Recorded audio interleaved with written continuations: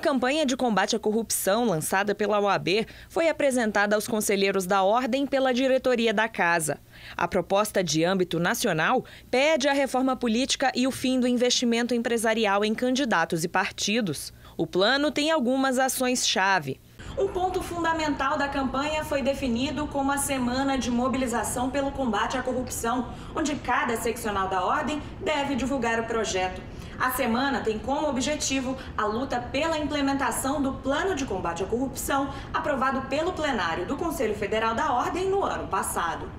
A criminalização do Caixa 2 de campanhas eleitorais, o fim do envolvimento de empresas com candidatos e partidos políticos, o fortalecimento de controle interno e auditorias, o estabelecimento de política nacional voltada à ética, a perda de cargo público e bloqueio de bens em casos de riqueza incompatível, a redução do número de cargos e funcionários comissionados, a valorização da advocacia pública como de Estado aplicação da Lei Ficha Limpa para todos os cargos públicos em todos os poderes.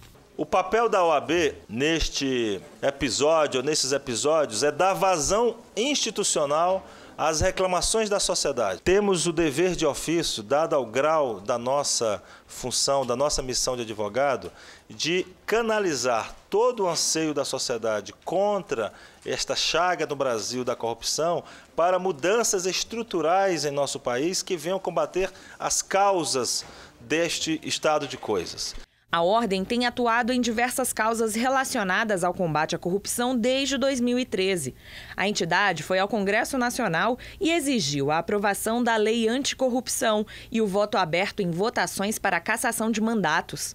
No STF, defendeu a ação direta de inconstitucionalidade, que pede o fim do envolvimento de empresas com candidatos e partidos políticos. Durante o pleno, o presidente da Ordem destacou o papel da entidade para o fim da corrupção no país sempre reafirmando uma ordem dos advogados do Brasil que não é longa-manos de governos nem linha auxiliar da oposição. Uma ordem dos advogados do Brasil que não é comentarista de casos, mas defensora de causas. Causas que venham a melhorar o Brasil.